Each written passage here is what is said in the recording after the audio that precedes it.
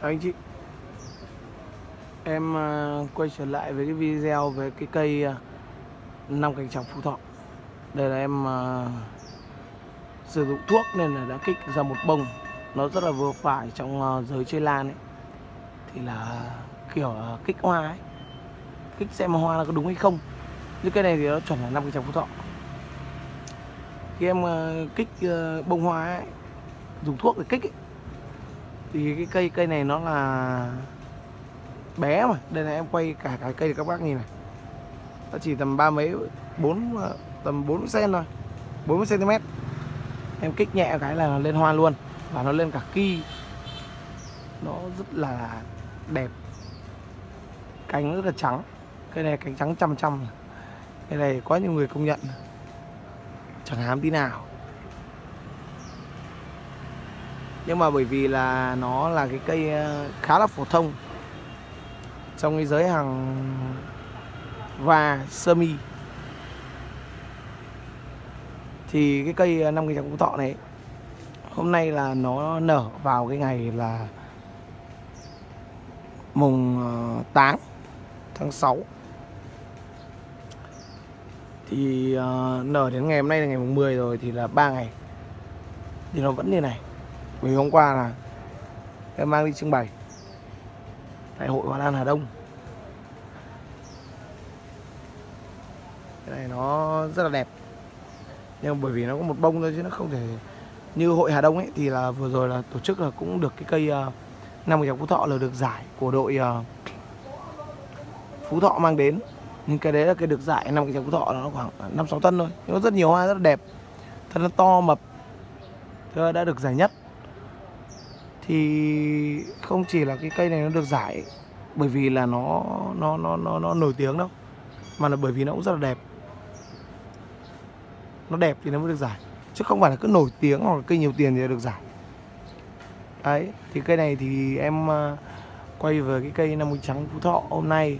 Em giới thiệu với các bác để các bác ờ, biết và nhận biết cái thân lá hoa là ví dụ những cái cái cái cái nó yếu tố như thế nào yếu tố như nào để các bác uh, tìm và các bác sưu tầm mua được những cái cây đúng là cái cây mà năm mươi trắng thọ mà các bác cần. Nó đúng xứng đáng với cái giá trị đồng tiền mà các bác bỏ ra. Chứ nếu như mà nhiều người người ta bán à, mặt hoa giống hình ấy, năm trong phú thọ ấy. nhưng mà mặt hoa y hình không được có. Bởi vì những cái cây mà một hai trăm nghìn gieo hạt ấy nó vẫn là sổ số thôi. Các bác phải nuôi nó nở hoa cơ. Chứ bây giờ mà nó chưa nở hoa thì rất là khó để khẳng định được trăm phần trăm nhưng đây thì là với những cái cây mà nó đã nở hoa như này rồi mà tách thân tách ghi ra ấy, thì nó đúng là trăm phần trăm nó sẽ cây phú thọ thì nó sẽ đúng trăm phần trăm là cây phú thọ. Còn những cái cây uh, những cái cây um, gieo hạt ấy thì nó vẫn là sổ số. Các bác vẫn phải nuôi khoảng 3 năm thì nó mới nở được. Chứ không phải là cây sổ số là hoặc cây nhân mô hay cây gieo hạt là nó hoa giống hệt như này. Thì em chưa gặp bao giờ. Bởi vì là cái trường hợp mà mà người ta bán cái kia năm trong phú thọ mà nở uh, gieo hạt đấy, thì có lâu lắm rồi. Cách đây bốn năm năm. Mà em chưa thấy cây nào nó nó nó nó nở được cả. Chưa thấy bao giờ nở lại. Còn thì cái việc mà mình sử dụng những cái cây mà lai hoặc cây nhân mô ấy, mà nó nó đẹp thì mình vẫn cứ chơi thôi.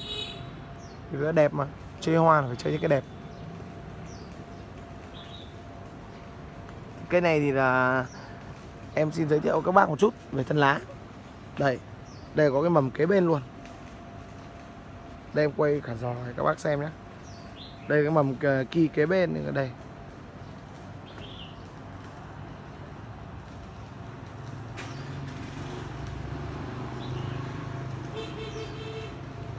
Cái này thì không phải cây lá trẻ cái này là cây lá bình thường thôi. Thân lá nhưng mà, quay này nó hơi khó, bởi vì là khó đấy, nó sẽ khó cho em. Cho em quay cái kia nhá, bởi vì kia nó nhỏ mà. Kia nó nhỏ các bác. Kia nó nhỏ. Em quay nó dễ. Dòng này là dòng lá bình thường nhé cây này cây bông nhỏ. Nhưng mà thực ra thì cây bông nhỏ nó vẫn có lá trẻ đây là tem của hội. Và trưng bày. Tem nó vẫn có lá nhỏ các bác nhé đây. À cái cái cái phú thọ ấy. Lá nhỏ nó vẫn có lá trẻ hoa nhỏ vẫn có lá trẻ mà hoa to nó cũng là lá trẻ luôn. Nó đều có, để đấy là do mình nuôi thôi. Đấy. Bây giờ thì em mà nói sơ qua về cái thân lá của cây này một chút thì à, đây là cái mầm của nó đây. Các bác nhìn cái mầm với hoa đây là không phải nhầm đi đâu được, đúng không ạ? Mầm với hoa đây là chuẩn luôn này.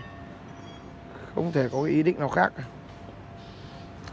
thì cái cây năm cái trắng phú thọ ấy, đây em quay về cái mặt đằng này thì nó dễ nhìn hơn này.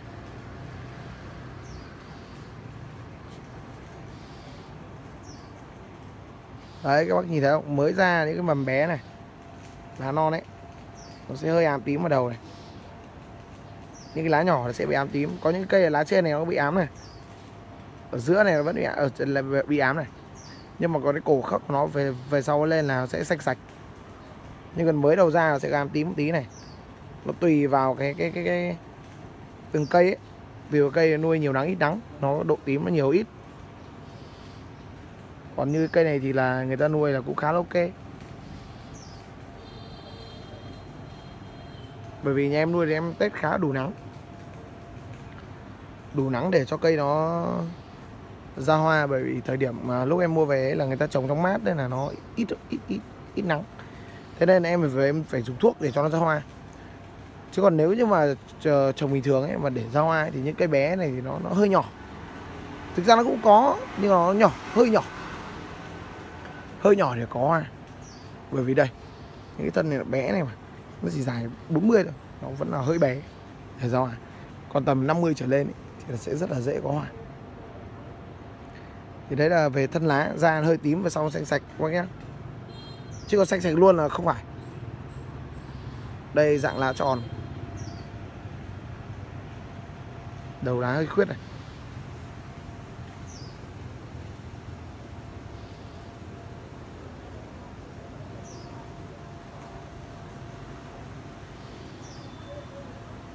Đấy, thân lá xanh sạch. Thân của nó thì to nhỏ thì từ ờ, khoảng 3 đến ờ, 4 mm có thể là 5 7 mm có thể là hơn mười mấy mm nó phụ thuộc vào là cái cây của bác là cây to cây nhỏ cây dài cây ngắn. Ví dụ như như những cái dòng thân ờ, thân nó đã mập tầm trên một mét đấy, thì thân nó phải to như con tay cái này. Thì là nó sẽ rơi vào tầm độ ờ, đường kính của nó tầm độ 15 cm đến 17 cm à 15 đến 17 mm em xin lỗi các bác. 15 đến 17 mm thì cái cái cái thân nó mập. Còn khi mà những cái thân bé mà lên mầm như này thì nó nhỏ này thôi khoảng 5 đến 7 mm thôi. Như cây này thế thôi 7 5 đến 7 mm. Bởi vì nó nhỏ mà. Đấy. Đây là về độ to nhỏ của thân. Thì các bác nuôi thì nó có thể to lắm nó to kinh lắm. Nó rất to. Đấy thì còn khi mà còn còn về thân lá của nó thì lá của nó thì nó to khoảng 2,5 đến 3,5 cm. Có những cái lá to nó thể lên 4 đến 4,5 cm. Thế nó tùy thuộc cái lá đó nó như thế nào và nuôi trong cái điều kiện cây mẹ khỏe thì nó sẽ đẻ cái con rất to. Đấy. Thế còn thì uh, phú thọ thì nó thường thường nó xếp xếp nhau. Còn về mùa hoa nở mùa hoa nở của cây này ấy, thì là nó rơi khoảng từ tầm độ tháng 5 đến khoảng tháng 8 đấy, mùa khá là dài đấy phụ thuộc vào do mình trồng ấy. Mình trồng nhiều nắng hơn nở sớm mà mình trồng ít nắng thì nó nở muộn hơn thân to thì nó nở uh, thân to thân nhỏ nở như nở như nhau. Nhưng mà nhiều nắng ít nắng ấy, thì nó nhiều nắng thì nó nở sớm hơn bởi vì nó rụng lá. Còn nếu không thì mình có thể, có thể cắt nó đi cắt nước nó đi. Cắt nước ấy thì nó nhanh khô thì nó cũng là uh, cách mà để mà mà mà ra nụ nhanh hơn nở hoa nhanh hơn. Đấy. Thì còn uh, cứ tưới liên tục ấy thì cái xác suất nó hay ra kỳ. Đấy là nói thật với các bạn thế.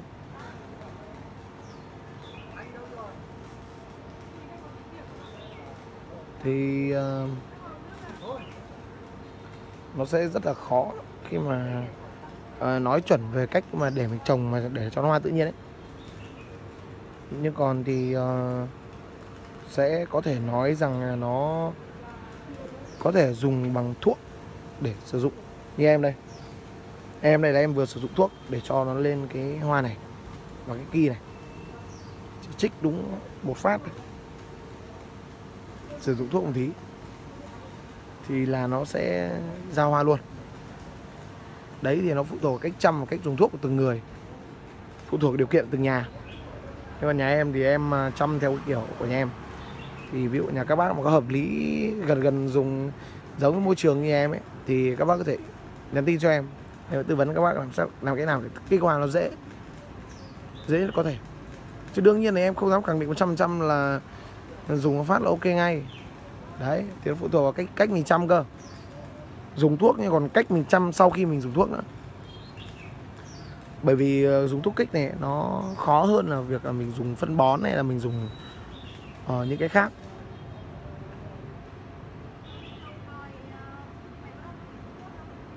Thì ờ, anh chị có thể là nghiên cứu thêm về thuốc.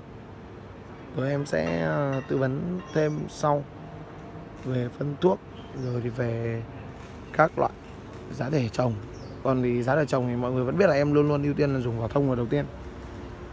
Vỏ thông số 1 thì ngoài ra là còn một số thứ đá bọt. Vỏ thông, gỗ, rồi thì à, bột dừa, rêu, nhiều loại lắm.